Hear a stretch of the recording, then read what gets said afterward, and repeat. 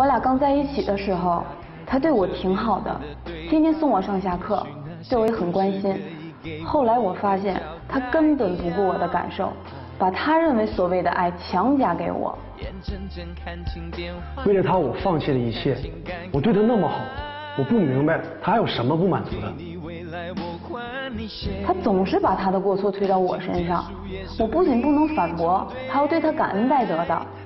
我们每天都在吵架，我实在忍受不了了，我真的不想再这样下去了。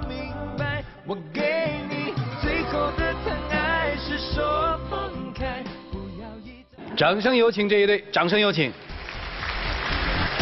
男嘉宾小雨，二十三岁，来自黑龙江，是一名学生；女嘉宾小蕊，二十三岁，同样来自黑龙江，是一名学生。来，有请。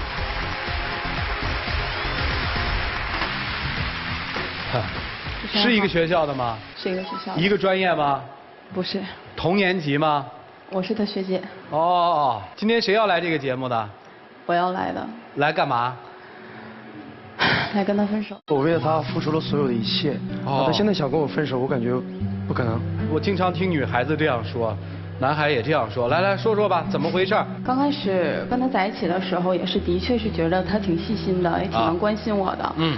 然后，但是时间长了之后，发现他根本都不是这样的人。啊。就比如说是有一次期末的时候，我写论文，然后我跟他打电话，我说那个我暂时写论文，我就暂时呃可能不能跟你出去约会了。过几天他自己整理出来资料之后，他撇给我了。我为了他的呃复复习资料，我自己期末考试我都没有好好复习，当时我就挂科了。我想让他帮我把我重修资料整理一下，那他呢？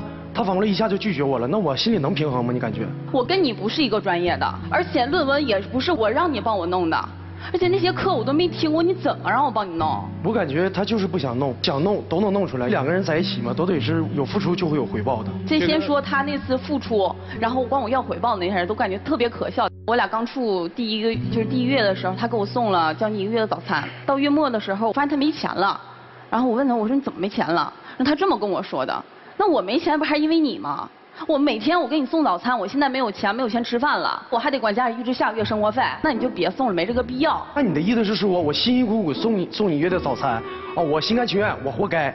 那合着我一点我对你的好，你一点情都不领是吗？你现在没钱了，然后你那么跟我说话，我让你不送了，不很正常吗？那你就偏得让我回报你是吗？我不是说让你回报回回报，你你多少你得有吧？你应该觉觉得我应该怎么领你情？你给我送一个月早餐，我再给你来一个月的晚餐。你知道我为了你付出的多少吗？有一次我为有一次为了给他送早餐，我还出了车祸。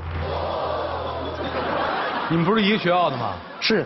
啊，我去买，我去很很很远很远的几条街买给他买他喜欢吃的早餐。啊，我那天回来也是着急要迟到了，我就被一个车白色车给撞了，我当时脚是骨折了。哎呀妈，你还好意思说这事儿？你给我打电话时候要死要活的了，火急火燎，呜呜呜，我往医院跑。然后我到那之后，我发现你也没要死要活啊，你还有力气跟我吵架呢，还有力气跟我生气呢。然后他妈给他打电话，你知道他你咋他咋跟他妈说的吗？他妈问他啊，你脚怎么骨折了？那还不是因为我女朋友，她天天让我去给他买早餐，然后我脚才骨折的，然后他还让我接他妈的那个电话，让他妈在对面指责我，我凭什么呀？我本来就是你家的，我是你家儿媳妇是不是因为你？是要不是因为他，我怎么会出车祸？我怎么会出去买早餐？那天早上是他让你出门买的早点吗？不是，在你过马路那一瞬间的时候，撞你那辆车是他开的吗？不是，那你这个被撞了跟他有什么关系？因为我是因为给他买早餐，我才会。因为谁让你给他买早餐的？我自己。你给他买早餐，你被撞了，那跟他有什么关系呢？没有关系。你愿意给他买早餐吗？愿意。真愿意还是假愿意啊？真愿意。行了，别再说这事儿了。